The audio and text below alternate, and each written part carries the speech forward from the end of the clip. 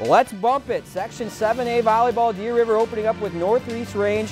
Warriors get a scare and drop set one, but bounce back. Devaney Tibbetts with the ace. That'll also give them the lead. Then later in the set, Hope Shankin set up in the middle, and she rises up and puts it away. They win 25-13. Then the third, this time Shankin serving.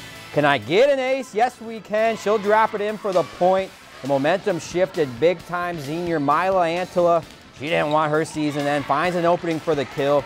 Warriors win three straight to take it in four. They got next up Friday night.